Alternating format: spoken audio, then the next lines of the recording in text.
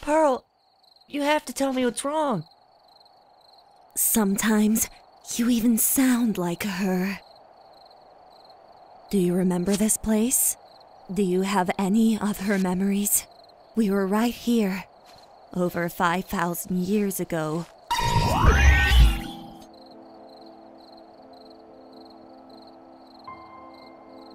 Pearl, yes?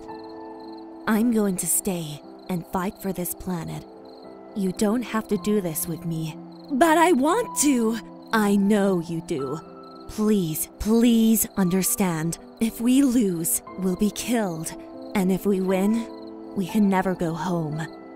Why would I ever want to go home if you're here?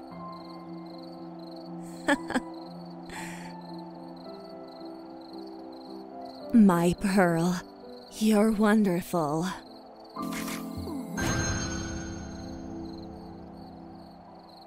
Everything I ever did, I did for her.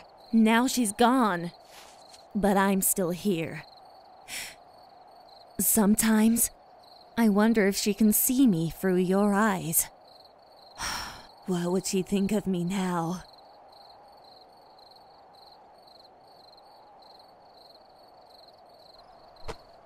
Well, I think you're pretty great.